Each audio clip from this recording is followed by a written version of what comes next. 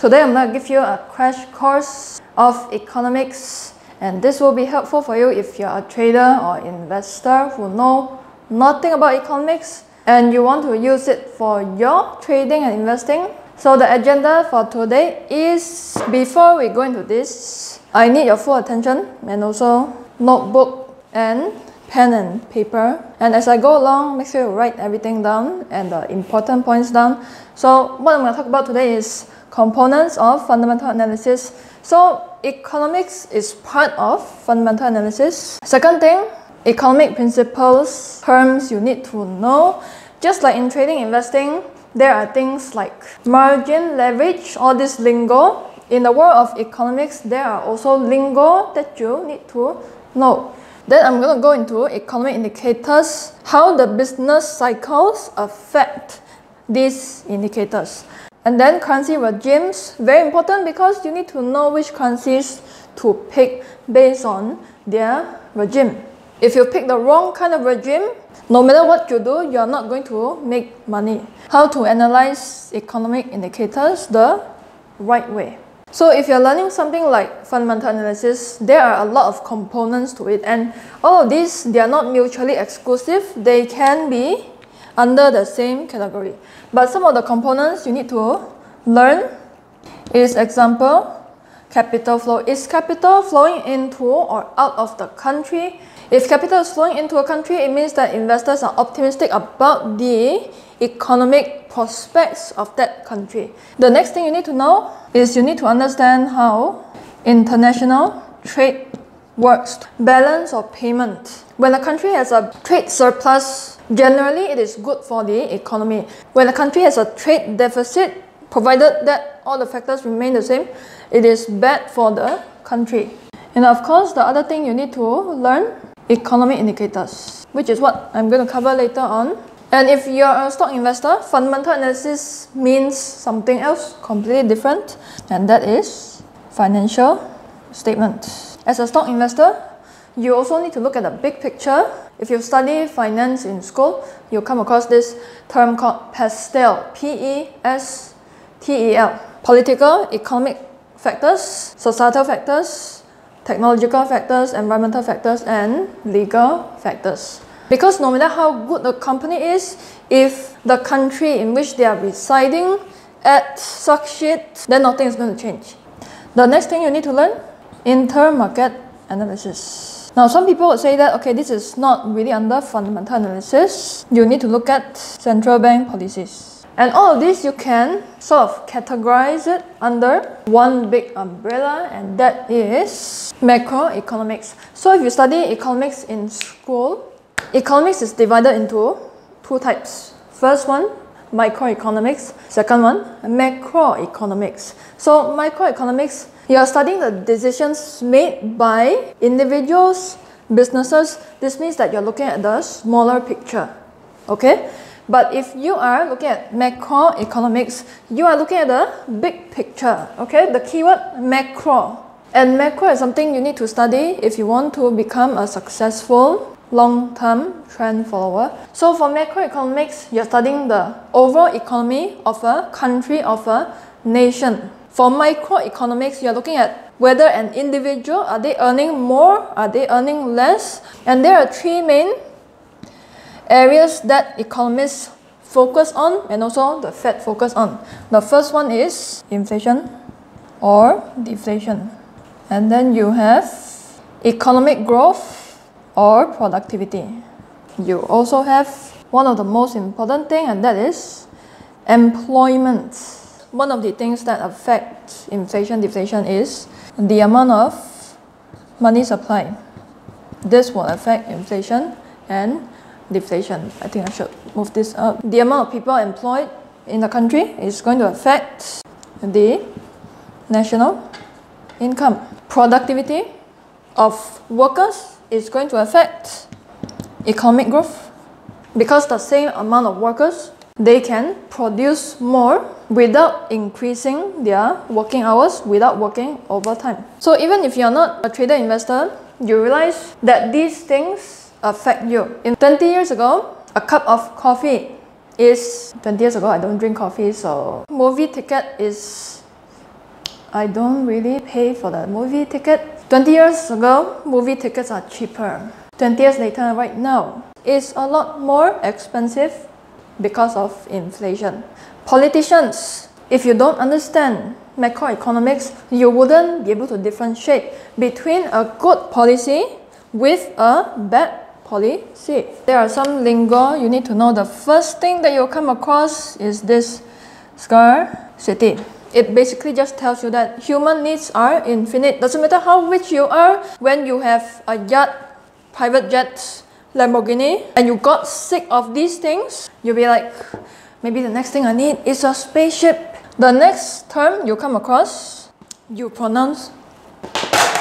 This basically tells you that while that certain variable change, all the other factors remain the same. Example, if we run a shop today that sells hot chocolate, after running our shop for one year, we are still broke as shit, so we decide to increase our prices. We know that when we increase our prices, demand for our hot chocolate is going to decrease, provided that everything remains the same. Because if we take into account other things like people's income level, like they are getting richer, or winter is coming, it's going to affect our hot chocolate sales. You'll come across this term called consensus. What does this mean? Every single month, economists they are going to publish their forecasts. So basically, it is the forecast of what the economic numbers is going to turn out to be. And it's not about the absolute number that matters. It's not about, okay, if the number comes up positive,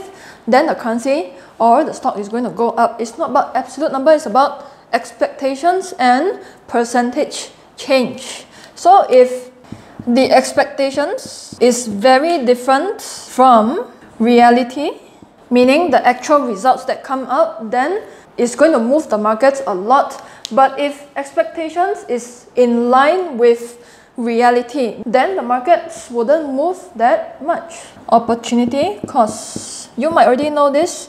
So if you choose to buy a book today, what's your opportunity cost? You could use that money for a staycation. So the next term you need to know is nominal values versus real values. An economic indicator like GDP. You have nominal GDP and also you have real GDP. I'm going to talk more about this later on. The next big macroeconomics concept is law of demand and supply. Now if you're talking about product services, in general, if you plot a graph of price versus quantity. As you already know, when the price of, let's say, movie tickets increases, the quantity demanded will decrease and hence this would give you the demand curve. When the price of something increases, suppliers, they are going to produce more so that they can sell more stuff. The higher the price, the more suppliers are going to produce more and hence the increase in supply. And right here, will be the equilibrium level. And this is assuming that everything else remains the same. But what if one external factor change? For example, if the amount of money you earn every single month, if people's income increase, the demand is going to increase. So the curve is going to shift to the right. And your new curve would look like this. If people's income decrease during a recession, the curve is going to shift to the left, okay, the demand curve. And if you change all this into the context of currencies, how does it work? So for example, if Singapore exports more to the United States, what's going to happen is that US importers they are going to exchange USD to SGD and hence this is going to increase the demand for Singapore dollars and hence it's going to shift the curve to the right. SGD is going to appreciate, it's going to go up. Supply of US dollars is going to increase and hence US dollar is going to go down, depreciate.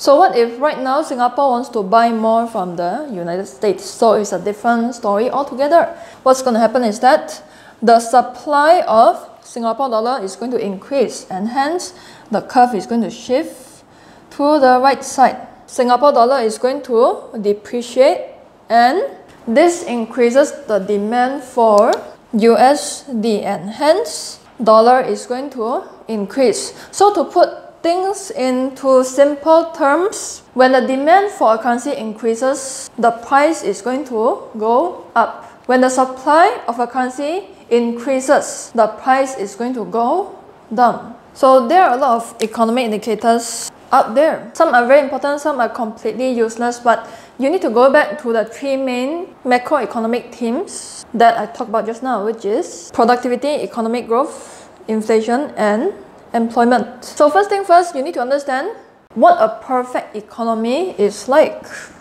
Because everybody wants to have a perfect economy. You and I, central banks, politicians, what is a perfect economy like? Everybody has jobs. Second thing, inflation. People want prices to not fluctuate too much, to be stable. Of course, people want high economic growth because generally it is good for businesses, good for you as an employee if you're in a 9 to 5 job. Does a perfect economy exist? No, because different countries they have different flaws. They might have deflation year after year after year, but they provide jobs to people. Now there are a lot of reports, surveys, statistics that measure some of these economic factors. I'm not going to go into detail regarding that. I'm going to reserve that for future videos, provided that everything remains the same, remains constant.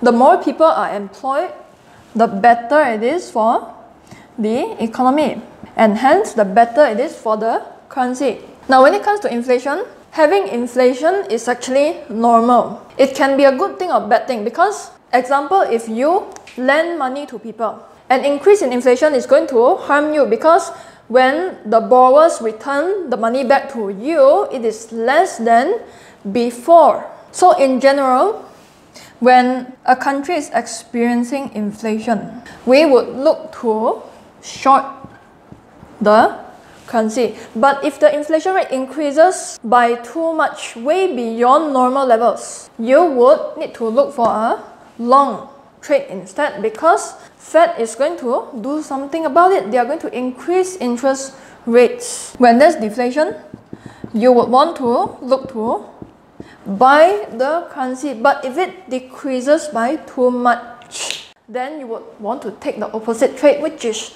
short. Again, Fed is going to do something about it. They are going to cut rates. And when it comes to inflation, a very common way to measure inflation is CPI and PPI. Again, I'm going to talk about this in detail in the future videos. When everything else is constant, an increase in economic growth is going to be good for the currency and hence the currency is going to appreciate. Again, provided that everything remains constant and particularly you need to look at real GDP because it is adjusted for inflation. So when real GDP is very low, it is bad for the economy, people will lose their jobs and hence the currency is going to depreciate. Very important thing is not the absolute value that matters. It is the expectations and percentage change of real GDP that matters because for example this month if real GDP is super negative but next month it is still negative but less negative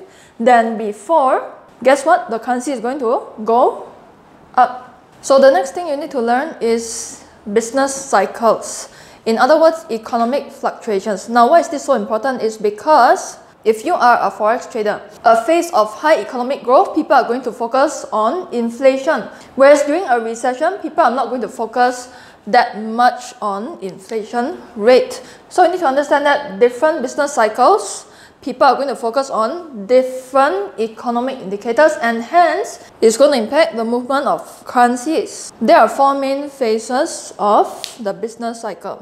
And if you're a stock investor, you also need to know this because during a recession, defensive stocks is going to go up. During an economic growth phase, cyclical stocks are going to do well. So if you are to plot a graph for business cycle, you would have real GDP on the y-axis and then you have time on the x-axis. So the four phases look something like this. Economic growth, then followed by a peak Alright, after that will be followed by a recession. And of course, with any recession, bad times is going to end. Then it would have a bottom. When the bottom has been reached, the economy is going to start to recover and hence you would go back to the growth phase and the cycle repeats itself again and again and again. So during this economic growth phase, it is the expansion phase. So when the economy is expanding, people have jobs, businesses are doing well. And of course, when it reaches the end of an expansion phase, you would have a peak. So during the expansion phase, you would have inflation. And when inflation reaches way beyond normal levels, what's going to happen is that central banks are going to increase interest rates can be also caused by housing market bubble example in 2008 tons of people they default on their subprime mortgages can be also due to the stupid coronavirus. So when fed increases interest rate people are going to struggle to get car loans mortgages and hence less people are able to afford goods and services. And during the start of the economic downturn you will see things like bond prices going up yields going down and then people are going to start to lose their jobs which they think is very stable. Stock market will start to plunge but you will see defensive stocks starting to do well and this is what we call a recession. And if you compare these two cycles, recession and expansion, the good news is that recession over the past many years history lasts an average of 11 months. And how do you define recession? Two consecutive quarters of negative GDP growth. Expansion on average lasts for 59 months. If you want to become part of the smart money, you need to know that recession doesn't last that long.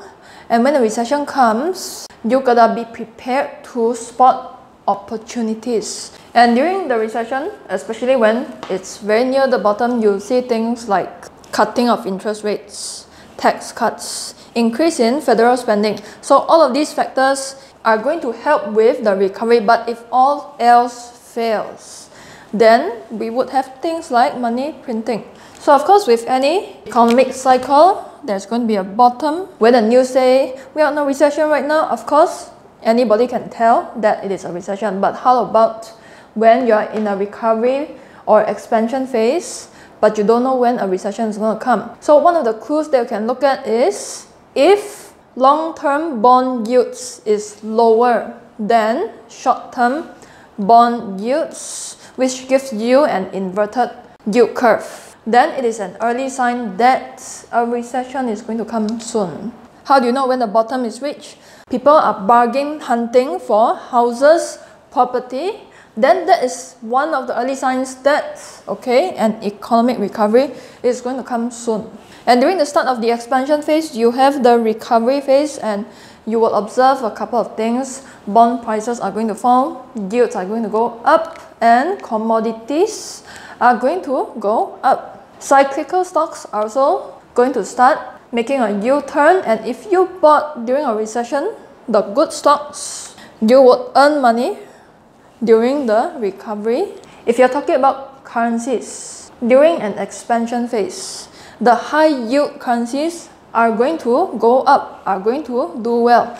During a recession, low yield currencies are going to do well because investors they are putting their capital into safe havens, which is low yield currencies. So when times are good, you can buy high yield currencies. When times are bad, you can buy low yield currencies, short sell high yield currencies. Pair a high yield currency with a low yield currency, you have a trade. You need to understand currency regimes because if you pick and trade currency pairs that has a fixed regime, you'll be wondering why is the currency not moving and every single day you're just paying swaps to your broker, making your broker rich. You don't want that, right? So Example of fixed regime currencies, you have Singapore dollar and also Hong Kong dollar. Singapore dollar is pegged to a basket of currencies which are not disclosed.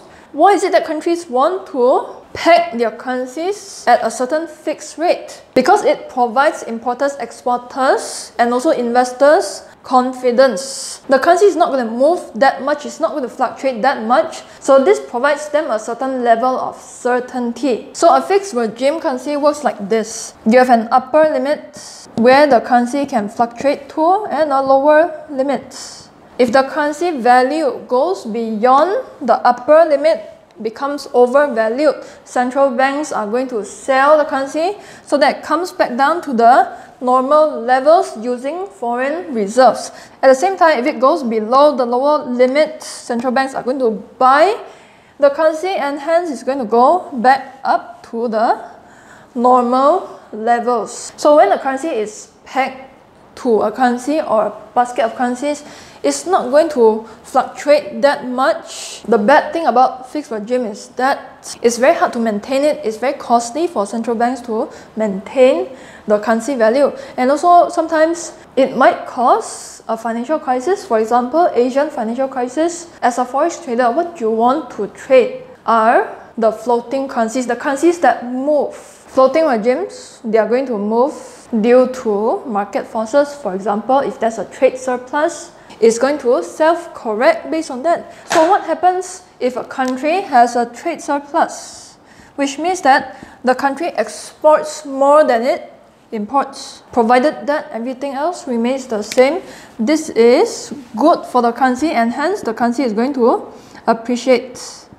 So what happens when the currency appreciates? Exports become more expensive. Agree with me? And at the same time, imports become cheaper demand for imports is going to increase. These two factors then cause the trade surplus to decrease and hence balance of payments will go back to the equilibrium level. So this is how the currency will adjust itself. For trade deficit, it's the other way around. Trade deficit, bad for the currency, currency is going to go down, exports become cheaper, demand for exports is going to increase. This will increase the trade surplus and hence balance of payment go back to normal. You realize that it is bad for exporters and importers because the currency fluctuates. It's very uncertain as compared to a, a currency with a fixed regime.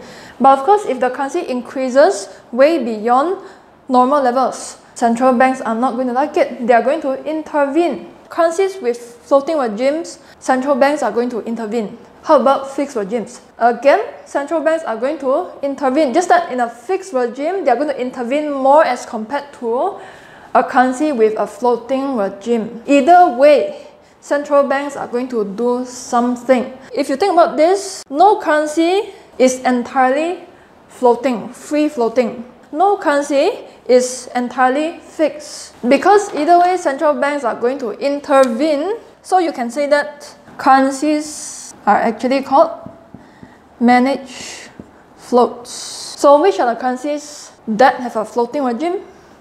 Look at the major currencies, dollar, yen, pound, the currencies that most people trade. So how do you analyze economic indicators properly? Of course, a lot of people, retail traders, they look at things like economic indicators on Forex Factory, my voice is already gone, Forex Factory or some other platforms. But it's not about where you look at the data, but it's about how you analyze it. First thing first, like what I said just now, it is the percentage change that matters most, not the absolute number also, expectations are very important. Another thing is that don't just look at one month's worth of data because you know why?